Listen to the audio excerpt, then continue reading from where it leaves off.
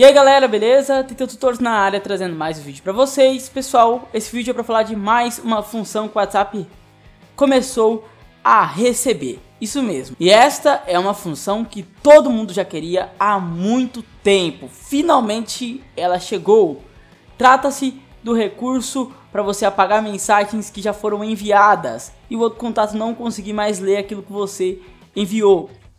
O recurso ele já aparecia de forma oculta na edição experimental do app e agora está sendo liberado aos poucos para quem possui a versão beta, a partir da 2.17.400. Após você excluir o conteúdo que foi enviado, o aplicativo exibe o comunicado de esta mensagem foi apagada, e esta ação precisa ser feita em até 7 minutos após o envio. Se esse tempo for ultrapassado, não será mais possível eliminar o conteúdo que você enviou para os smartphones dos seus amigos. O WhatsApp ressalta também a possibilidade de que o contato veja a mensagem antes de ser apagada. E isso pode acontecer caso a pessoa esteja online com a conversa aberta ao receber o texto que você enviou. Mas é interessante que quando a mensagem é apagada, a notificação some e também o conteúdo que pode aparecer na tela de bloqueio também é apagado. Vocês viram também no decorrer desse vídeo como é que vai funcionar o recurso, né?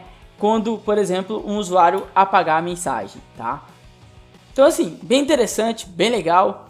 É, como eu disse no começo, está sendo liberado aos poucos para os usuários, então agora sim, muito em breve eu posso garantir para vocês, vocês poderão estar experimentando esta nova função do WhatsApp que todo mundo queria já há bastante tempo.